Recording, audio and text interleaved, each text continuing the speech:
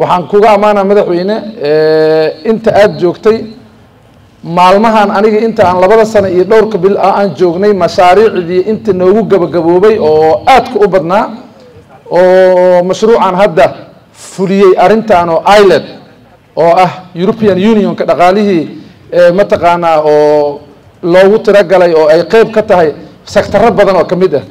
Inta aan xasuusto galmudug waxaa looga faa'iidaystay suuqyo oo dhowr magaalooyin laga dhisay wadaa jirta oo airboorka ilaa inta ahayd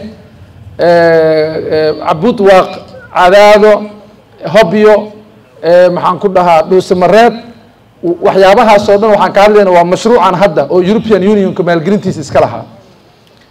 State stateyada ugu faa'iidada badnaayoo ka faa'iiday oo hormuudka u ahaya galmudug ay ka mid tahay. Guushaasna waxaa iskale hogaanka iyo tiimka madaxweynaha hogaaminaya madaxweyne axmed qoorqoor si mashaariic looga faa'iido waxaa asal ah in la helo meeshii looga faa'iidaysan lahayo nabad ah iyo dadkii brogramkaas hogaamin lahayo madaxweyne iyo wasiire iyo xafiisya shaqaalihii ka shaqeynaya ee deliverygaas uu sababta u ahaa.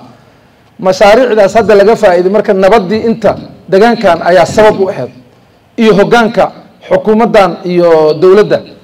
Aad iyo aadaan waxaan ugu ammaanaa madaxweyne axmed qoorqoor wasiiradii mid kastaba maxaa dhacay sectarada waa kala duwan yihiin. Qof kastaba qeybtou isaga wakiilka ka ahaa inuu deliver gareeyey oo maanta ayadana sidoo kale wasiirka qorsheynta master axmed inta uu nala fadhiyay oo shaqo badan naga dhexaysay oo howlahan coordinationka iyo dhaqaale u raadinta mashaariicda ee wasaaradaha kala duwan ay ka shaqeynayeen. Madaxweyne waxaan saaki ku daha furnay caasimadda dowladda galmudug ee dhuusamareeban hadda joogno qorshihii weynaa ee isbeddelka qaranka. Qorshe aada iyo aada u weyn oo shan sano socon doona labada kun iyo labaatan iyo shanta ilaa iyo labada kun iyo labaatan iyo sagaalka. Qorshahaas wuxuu bedeli doonaa qorshihii labada kun iyo labaatanka ilaa iyo labada kun labaatan iyo afarta oo sanadkan ugu dambeeyo oo qorshihii horumarka qaranka ahaa. Waxaan rabaa inaan idinku bogaadiyo ka dowlad ahaan ka hoggaan ahaan ka wasiir ahaan iyo ka shacab ahaanba sanadihii la soo dhaafay qorshaha sanadkan gabagaboobayo faqriga soomaaliya in hoos loo dhibo boqolkiiba shan iyo toban inaa adigu qeyb ka ahaydeen. Mashruuc horumarkan qorshaha horumarka qaranka madaxweyne markii hore faqriga amaba dadka ku nool laba dollar ka yar maalintii saddexda waqti wax la cunaya waa laba dollar wixii ka yar soomaaliya lixdan iyo sagaal boqolkiiba ayuu ahaa saddex sano ilaa afar sano ka hor. Hadda warbixintii soo saarno ugu dambeysayna lixdan iyo sagaalkii waan hoos baan kaga dhacnay konton iyo afar dhibic afar ayuu maraa shan iyo toban ayuu hoos u dhacay. Guushaas qof kasta oo kaalin ku lehna bogaadin uu mudan yahay.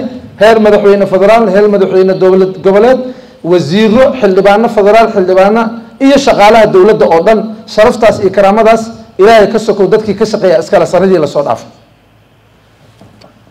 sannadkii hadda aan soo dhaafnay soomaaliya todoba todoba boqol oo milyan oo dollara maalgashi dibadda ka soo galay. Waxaa la dhahaa maalgashiga shisheeye.